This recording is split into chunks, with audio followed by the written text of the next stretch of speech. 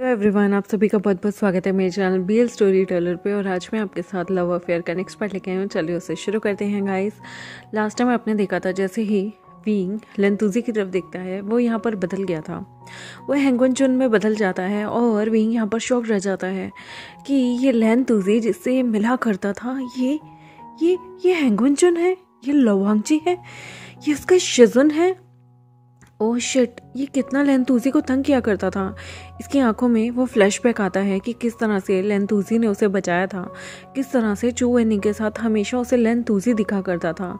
और इसे याद आता है कि जो लेंतूजी था, इसे तब भी देखा था जब कोई इसे किस करके भाग गया था। इसे लेंतूजी हर जगह दिखता था।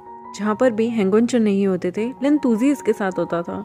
और ये हेंगवन चुन समझ कर सॉरी लेंतूजी को बच्चा समझकर उसके साथ कितना ज़्यादा छेड़छाड़ किया करता था। क्या ये सारी हरकतें अपने अपने शेजन के साथ कर रहा था? यहाँ पर विंग शॉक था? वो हेंगुनजुन को देखता रह जाता है। हेंगुनजुन बहुत जल्दी से अपने हाथों से तितलियाँ निकालते हैं और अपने अंकल और अपने ब्रदर और बाकी लैंस को भी, वो फटाफट से उन तितलियों के द्वारा मैसेज भेज देते हैं कि यहाँ पर खतरा है। सारे लोग भागे भागे वहाँ पर आ जाते हैं। मिनट से पहले पलक झपका, झपकते ही सारे के सारे लोग अपने स्पिरिचुअल वेपन अपनी तलवारों पर उड़ते हुए वहाँ जाते हैं। यहाँ पर सारे भगदड़ मच रही होती है और वो झटके से दरवाजे को खोल देते हैं। पायभूषण जो था वो विंग को पकड़े हुए था। यहाँ पर हुआ चंग, जो कि बहुत ज़्यादा गुस्से में आ रहा था। और वो यहाँ पर शीलियन को ढूँढने के लिए इधर उधर निकल चुका था। उसके बाद यहाँ पर सामने मोरन आता है और उसके बाद सामने वन खशिंग आता है। यहाँ पर लुओ भिंगे भी आ जाता है और शिनचिन च्यू भी। सब अपनी अपनी फॉर्मेशन ले लेते हैं और जोस इशू भी। इन सबको बहुत गुस्सा आ रहा था कि शीलियन को इसने कहाँ छुपाया है। वो सारे सारे अपने स्पिरिचुअल वेपन और अपनी तलवारें लेके रेडी थे। वो किसी भी क्षण बाइविशियन का सर काट सकते थे। वो बाइविशियन से शीलियन को वापस देने के लिए बार बार बोलते हैं। लेकिन बायवोजियन भी कच्चा खिलाड़ी नहीं था, उसे चोट लगी हुई थी। लेकिन वो उन लोगों के ऊपर चकमा देकर वहाँ से भागना चाहता था। लेकिन तभी जो हैंगनचुन होते हैं, वो अपनी तलवार को बायवोजियन के इस बार पेट में घुसेड़ देते हैं। पेट में घुसेड़ने के बाद यहाँ पर बायवोजियन को बहुत ज़्यादा दर्द होता है। वो लवांगची की तरफ़ गुस्से में देखता है और वो अपनी फेंक्शन तलवार को बुला लेता है, जो कि शीलियन का स्पिरिचुअल वेपन थी। सारे ये चीज़ देख के हैरान हो जाते हैं कि ये बायोजियन का स्पिरिचुअल वेपन कैसे हो सकती है। वो उस तलवार से यहाँ पर वांगजी की तरफ़ वार करने लगता है। वांगजी जो कि एकदम से फिर से बच्चे में चेंज हो जाता है। वांगजी से लड़ना लड़ाई नहीं हो पाती। तो यहाँ पर वांगजी के सामने चू एनिंग आ जाता है और चू एनिंग अपनी गोल्डन विलो वाइन्स को निकाल लेता है और वो उससे यहाँ पर बायभूषण पे हमला करने लगता है। वांगजी की जो तलवार थी वो अभी भी उसके हाथों में थी और खून से सनी हुई थी। भाईभूषण बहुत ज़्यादा बहुत ज़्यादा उसे चोट आ गई थी। लेकिन यहाँ पर वो किसी भी तरीके से अभी भी गिवअप करने के लिए तैयार नहीं था। उसने विंग का हाथ इतनी ज़ोर से पकड़ा था कि विंग को तकलीफ़ होने लगी थी। विंग चिल्लाता है, लेकिन यहाँ पर बायभूषण उसे कहता है, मैं आज मर भी जाऊँगा ना, तब भी मैं तुम्हारा हाथ नहीं छोड़ूँगा। अगर तुम लोगों ने यहाँ पर ज़रा सा भी मुझे तकलीफ़ दी उतना याद रखना।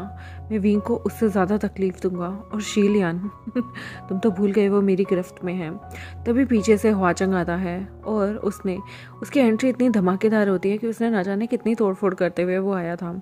और वो ज़ोर से यहाँ पर, उसकी तरफ़ अपनी कटार फेंक के मारता है। यहाँ पर कटार जैसे ही सामने आती है ईमिंग तो यहाँ पर उसके होश उड़ जाते हैं बाइवोजियन के। वो ईमिंग उसकी गर्दन काटते हुए वहाँ से पार हो जाती है। बाइवोजियन की गर्दन उसकी कटार ने काट दी थी। यहाँ पर सारे शॉक्ड होते हैं। वो शीलियन को बचा के ले आया था। शीलियन, जो कि अभी भी उसके होश उड़े हुए थे, उसे यकीन नहीं आता बाइवोजियन को इतनी आसानी से वाचंग ने मार डाला। वाचंग को बहुत गुस्सा आ गया था और वो यहाँ पर जैसे ही भाई वोशियंग मर जाता है, गिर जाता है और उसने अभी भी यहाँ पर विंग का हाथ बहुत ज़ोरों से पकड़ा हुआ था। यहाँ पर फटाफट भाग कर आकर हैंगवनजुन और चुएनिंग, उससे विंग का हाथ अलग करने की कोशिश करते हैं। विंग यहाँ पर अभी भी उस प्यारे से लेंथ तूजी को देख रहा था। लेन तूजी यहाँ पर विंग से पूछता है विंग तुम ठीक हो ना? विंग जो कि सदमे में था वो लेन तूजी बोले या शिजुन बोले या हेंगन चुन बोले उसे नहीं समझ में आ रहा था वो क्या बोले? वो भचक्का रहते हुए गर्दन हिलाते हुए बोलता है हम्म, ठीक हूँ। तूजी आई मीन शिजुन मैं आपको क्या बोलूँ? तो यहाँ पर बड़े ही मुश्किल से जो लैन तुसी था वो आगे बढ़ता है, वो अपनी तलवार को यहाँ पर साफ़ करता है और बिचन को वापस म्यान में डाल देता है। वो वींग से कहता है, वींग आई एम सॉरी मैंने तुमसे एक बात छुपाई थी।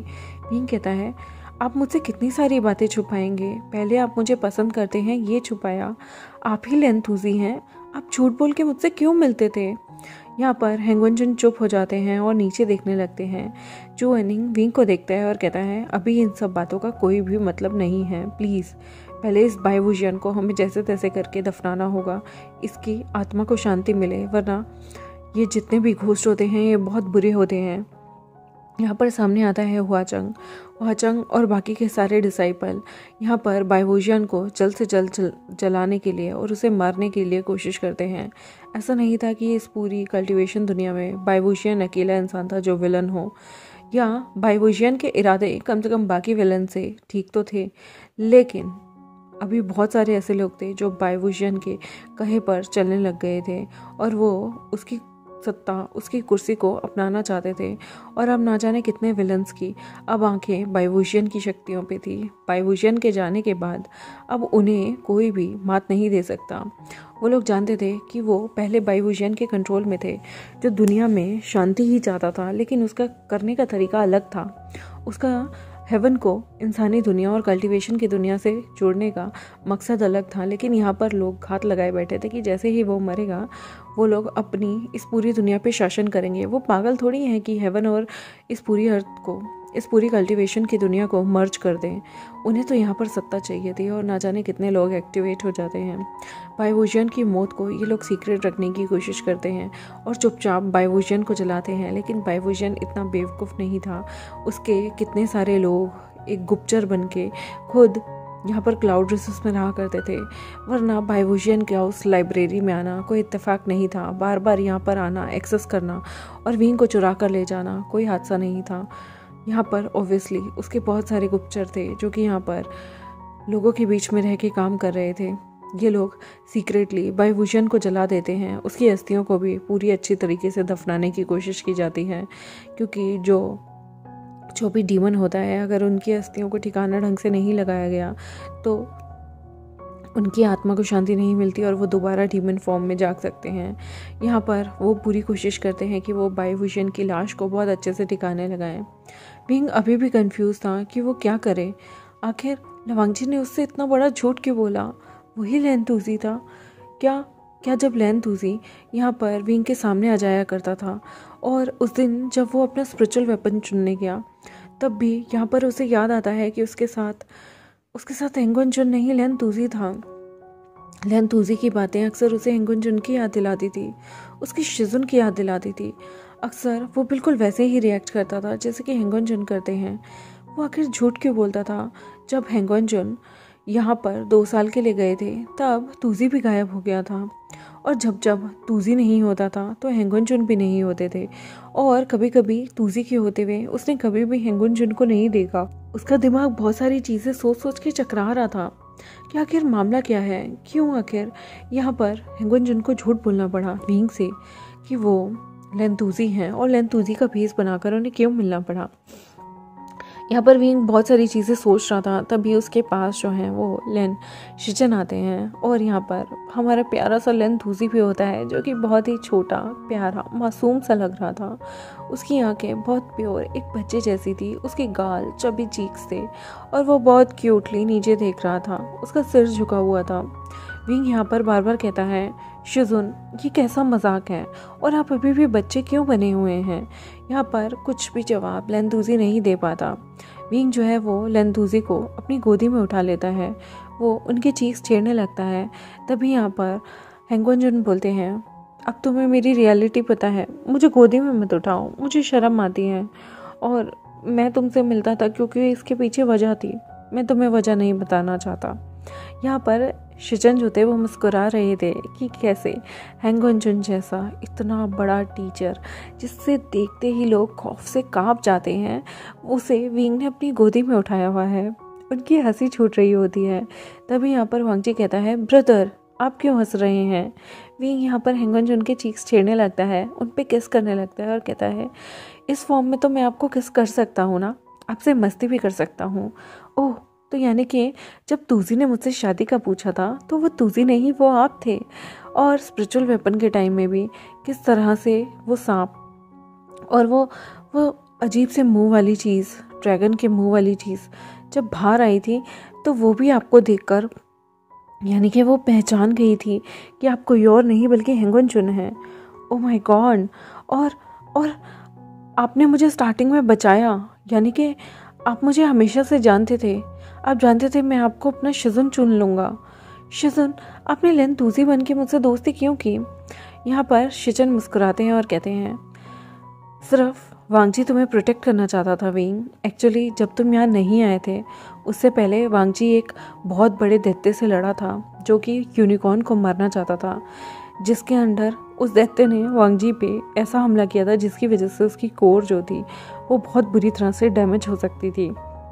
इसलिए एक बच्चे का जो रूप होता है ना, जब इंसान उसमें ढल जाता है तो उसकी शरीर की प्रतिक्रिया और शरीर में जो रक्त संचार होता है, एनर्जी भी जो संचार होती है, वो बाकी लोगों के मुकाबले बहुत कम होती है। उस बच्चे को बहुत कम चीज़ों की ज़रूरत होती है।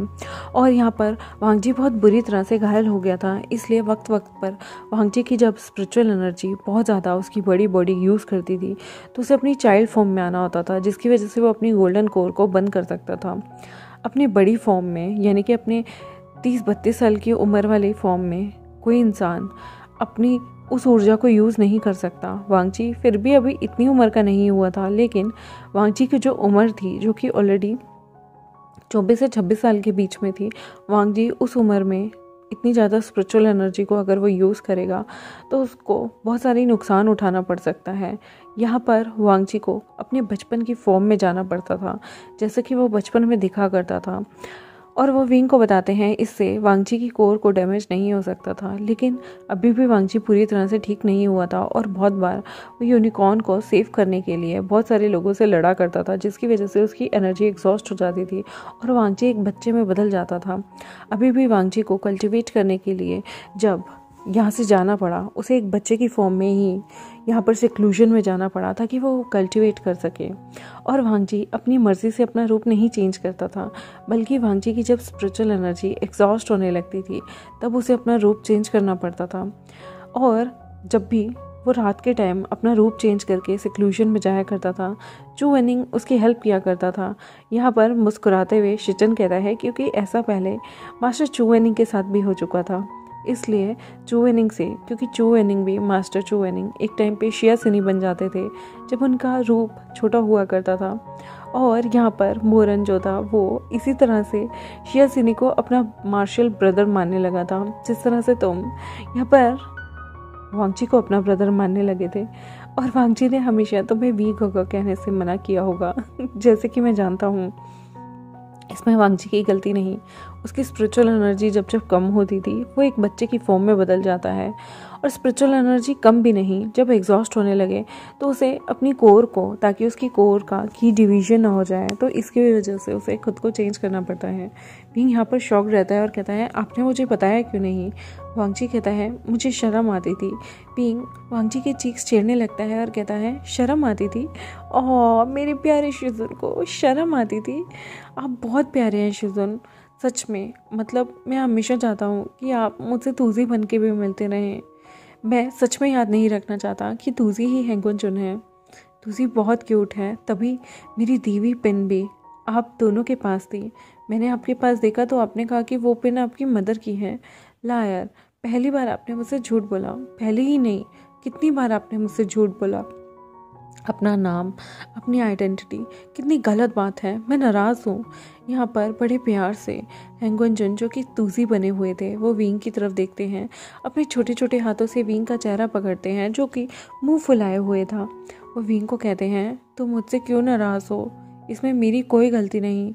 मेरी कोर अभी पूरी तरह से ठीक नहीं हुई है। विंग यहाँ पर उनकी नोज़ को पिंच करते हुए कहता है ओ रियली और वो उनके लिप्स पे छोटे छोटे पे किस कर देता है। गुंजन उसे देखते ही कहते हैं शेमलेस विंग कहता है, लेकिन आप तो बच्चे हो ना?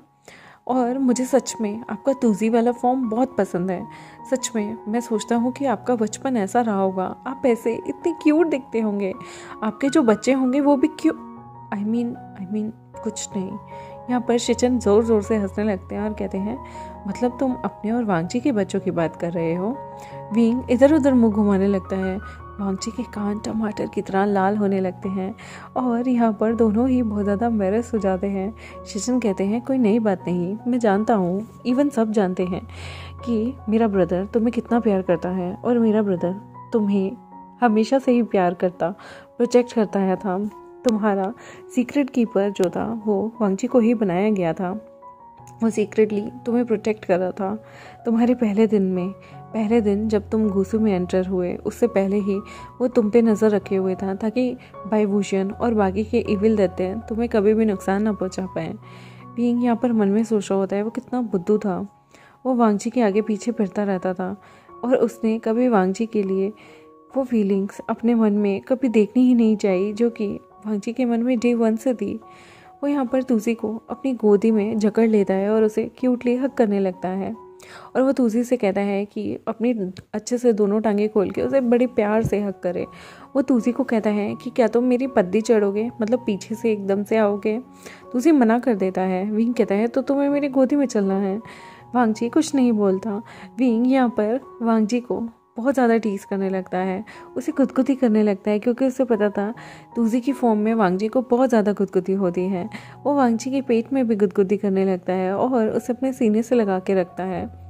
लिटरली यहाँ पर पहली बार ऐसा था कि कोई ओमेगा अपने अपने अल्फ़ा को गोदी में उठा के चल रहा हो। यहाँ पर सारे देख रहे थे कि विंग कितने कितने प्यारे तरीके से लहनतूजी को अपनी गोदी में उठाया हुआ था, जो कि कोई और नहीं, बल्कि इसके शिजुन थे। यहाँ पर वांगजी अपना मुँह छुपाए हुए, वो विंग के शोल्डर पे अपना सिर रखे हुए थे। तभी चिरन अपना गला साफ़ करके कहते हैं, विंग वांगजी कहाँ जा रहे हो? वांगजी तो मुँह उठा के ही नहीं देखते क्योंकि उन्हें बहुत शर्म आ रही थी अपने बच्चे फॉर्म में। विंग यहाँ पर वांगजी की फिर से गाल छेड़ते हुए कहते हैं हैंगुन जिन कितने क्यूट लग रहे हैं ना हेडमास्टर देखो, ये बच्चे की फॉर्म में कितने प्यारे लग रहे हैं। यहाँ पर मुस्कुराते हुए चिरन को भी मस्ती सूझती है। क्योंकि वो जानते थे कि वो वांगजी से बड़ी फॉर्म में जब वो अंकल और नेफ्यू की तरह होते हैं तो वो वांगजी से मज़ाक नहीं कर सकते। लेकिन इस वक्त वो वांगजी से मज़ाक करते हुए अपने हाथ से एक टॉफ़ी निकालते हैं और वांगजी की तरफ़ कर देते हैं और कहते हैं, मुझे पता है, बच्चों को टॉफ़ी पसंद है। वांगजी, तुम ये खाना चाहोगे? वांगजी और भी ज़्यादा शर्माने लगता है और वो कहता है, अंकल, वींग यहाँ पर वांगजी को बड़े प्यार से हक कर लेता है। और कहते हैं, ओफो हेडमास्टर यही तो कह रहे हैं, टॉफ़ी खाओगे। वैसे, मैं भी तो तुम्हारे लिए कितनी सारी टॉफ़ी लाता था। यहाँ पर मुस्कुराते हुए चरण कहते हैं, ओह तो अपनी इस फॉर्म में तुम अक्सर विंग से मिला करते थे हम्म? और तुम टॉफ़ी भी खाते थे? बचपन में मैंने तुम्हें मना किया था ना, वांग जी। वांग जी कहते हैं, मैं नहीं खाता था विंग अपने आप खिला देता था। यहाँ पर विंग कहता है बदमाश तो तुमने मुझे कब बताया था कि तुम हेंगुनजुन हो? यहाँ पर बहुत प्यारा सा क्यूट सा सीन होता है सबके बीच में। पिंग हेंगुनजुन को उनके अपने कमरे में ले जाता है। यहाँ पर हेंगुनजुन को वो जैसे ही ज़मीन पे मतलब उनके बेड पे बैठाते हैं। विंग यहाँ पर हेंगुंजन अपने अपने जूते उतार देते हैं और वहाँ पर सोने लगते हैं। लेकिन विंग वहाँ से जाने लगता है तो हेंगुंजन उसका हाथ पकड़ लेते हैं और कहते हैं, मत जाओ ना। विंग कहता है, क्यों? हेंगुंजन कहते हैं, मैं एक बच्चे की फॉर्म में हूँ। मैं बहुत छोटा हूँ और मेरा दिल भी, मेरी हरकतें भी और मेरी स्पिरिचुअल एनर्जी एक बच्चे की तरह ही है। मैं कोई भी अगर कुछ बुरा होता है तो मैं उसे संभाल नहीं पाऊँगा।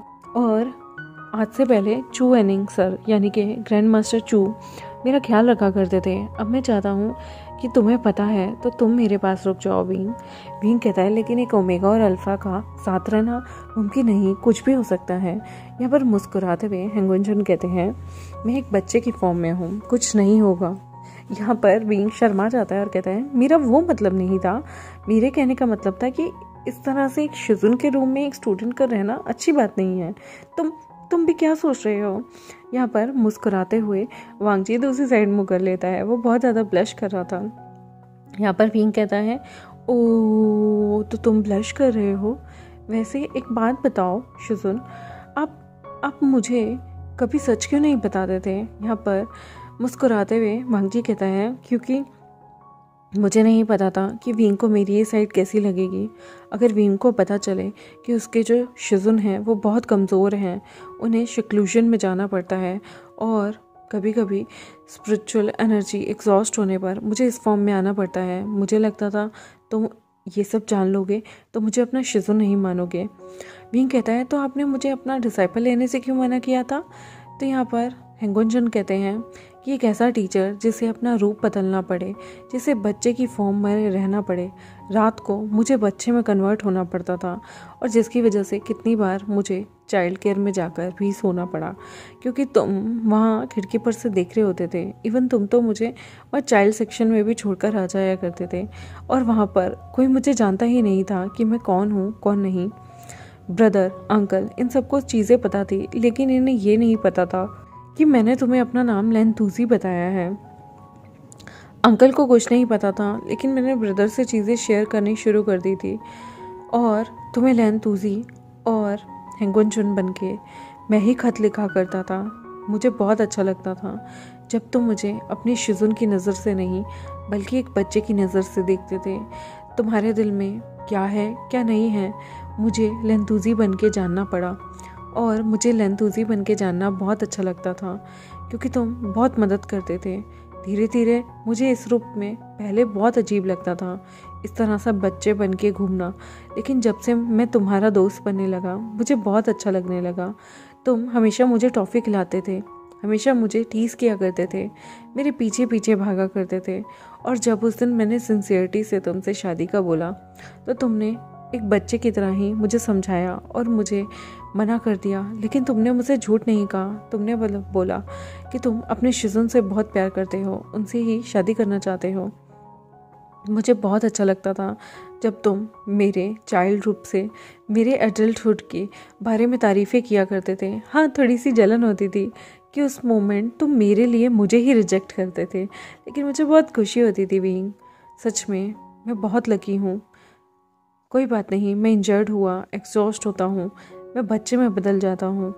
लेकिन उसमें भी मुझे तुम्हारे साथ वक्त बिताना बहुत अच्छा लगता है। जब तुम मेरे लिए लेटर एज अ शिजुन तुम मुझे लेटर लिखते थे, लेकिन एज अ तूजी एज अ दोस्त, तुम मुझे लेटर लिखा करते थे। मुझे बहुत अच्छा लगता था।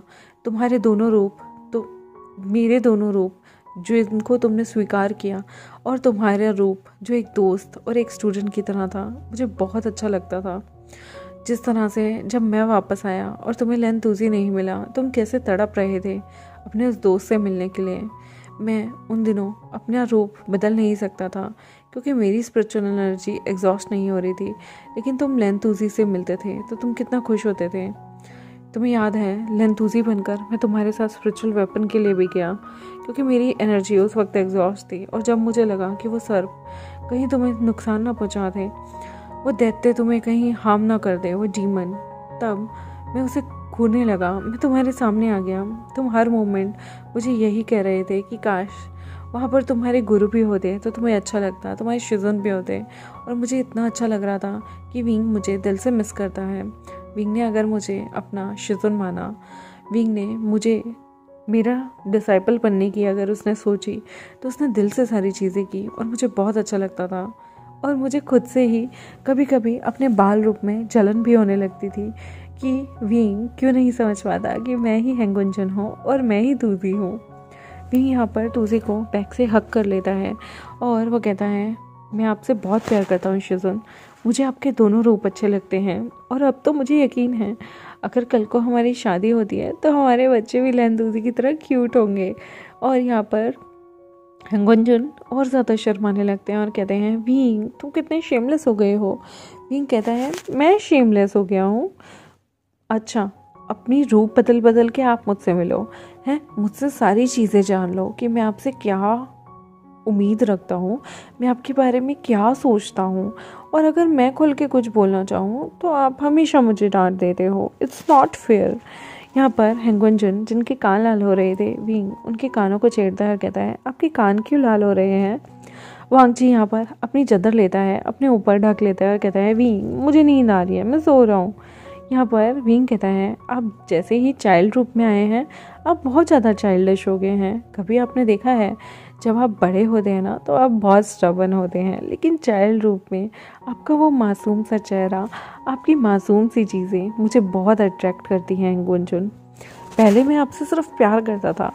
अब मैं आपसे प्यार, मोहब्बत, इश्क, आपके लिए हर वो चीज़ फील करता हूँ। और मुझे आज पता चला कि मेरे प्यार के साथ ही मेरी सबसे गहरी दोस्ती है।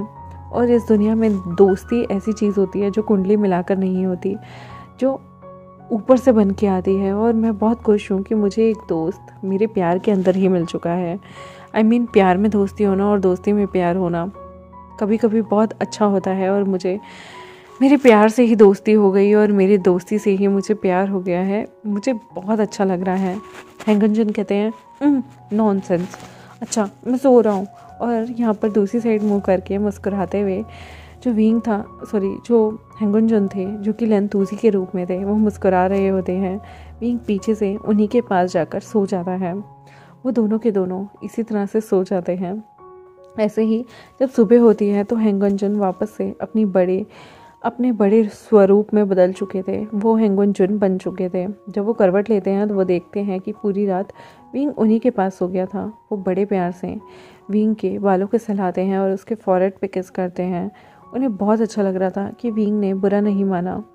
और अगर उनकी स्पिरिचुअल एनर्जी एग्जॉस्ट होने पर उन्हें अगर बच्चा भी बनना पड़ा तो विंग ने उस रूप को भी बहुत प्यार से स्वीकार किया है। क्योंकि खामियाँ कभी भी हो सकती हैं और लाइफ में कोई भी प्रॉब्लम आ सकती है। ऐसे में अगर आपका प्यार आपकी उस खामियों को आपको बार बार जताए और आपको ताने मारे तो इंसान को बुरा लग सकता है। लेकिन विंग ने ऐसे में हेंगुनजुन को सपोर्ट किया है, उन्हें समझा है, उनकी कमज़ोरियों को भी अपनाया है। हेंगुनजुन को इतना प्राउड फील हो रहा था ना और इतना प्यार आ रहा था उन्हें विंग पे कि वो सोए सोए विंग के चीक्स पे किस कर देते हैं। विंग कहता है न्यू सोने दो प्लीज़ चंगचा तुम हो ना इरिटेट मत करो, मुझे सोने दो। हेंगुनजुन कहते हैं न्यू सिंह चंगचा क्या वो तुम्हें किस करते हैं?